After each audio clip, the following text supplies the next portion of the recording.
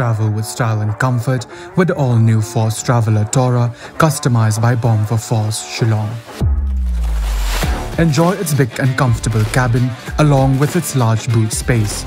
A new leather interior along with furnished floors, individual charging stations, personalized overhead air conditioning with pleasant after-dark lighting, comfortable reclining seats, adjustable side mirrors, and aerodynamic luggage carrier. For more customizable options, contact Bomber Force, Third Mile, Upper Shillong.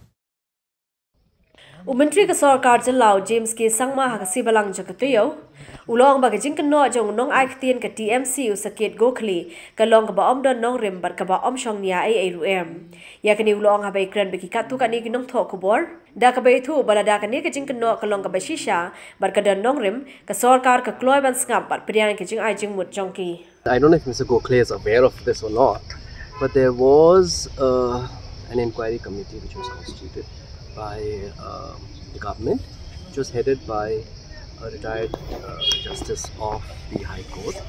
And uh, that report has been submitted, and that report has uh, um, apparently uh, said that there was nothing untoward in the smart meter project. So I think again, you know, I feel that Mr. Gokhale um, is not doing proper homework when it comes to all these things.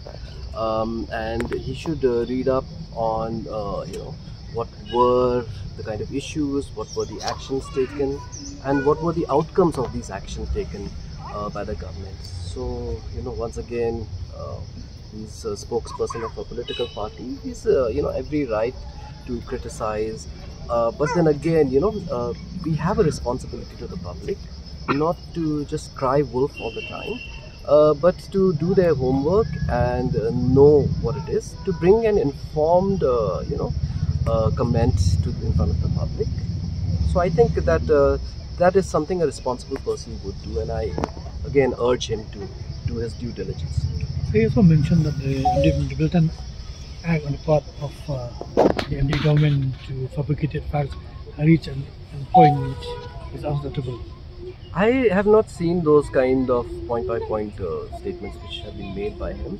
And again, it's uh, very easy to um, criticize anybody. I mean, uh, for Mr. Gokhale to say all these things uh, must be based on facts.